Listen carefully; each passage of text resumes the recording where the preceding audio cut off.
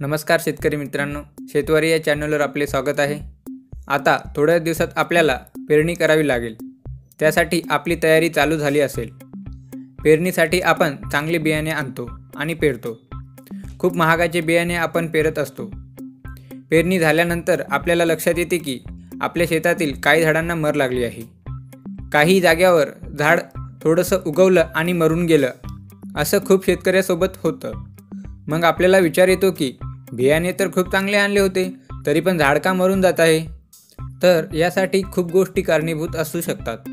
पण याचं सर्वात मोठं कारण असते ते म्हणजे आपल्या जमिनीतील असलेली बुरशी.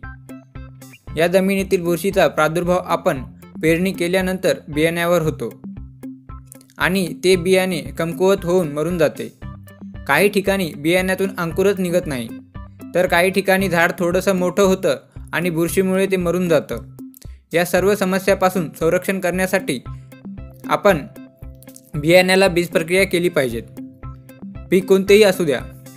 म्हणजेच तुमचा हरभरा गहू ज्वारी सोयाबीन तूर मूग उडीद कोणतेही पीक असो त्याची बीज प्रक्रिया नक्की केली पाहिजे. म्हणजेच बियाणे बुरशीपासून संरक्षित होईल. तर आता आपण रोको बुरशीनाशकाने बीज प्रक्रिया कशी करावी हे बघूया. रोको बुरशीनाशकामध्ये थायोफिनेट मिथाईल सत्तर टक्के असते. तर हे रोको बुरशीनाशक पावडर स्वरूपात मिळते. रोको आंतरप्रवाही असल्यामुळे आपण जेव्हा बीज प्रक्रिया करतो तेव्हा ते बियामध्ये जाते आणि बुरशीपासून संरक्षण करण्याचे काम चालू करते. बीज प्रक्रिया करताना दोन ग्राम रोको पावडर प्रति एक किलो बियाणे याप्रमाणे हे बुरशीनाशक पावडर वापरायचं आहे.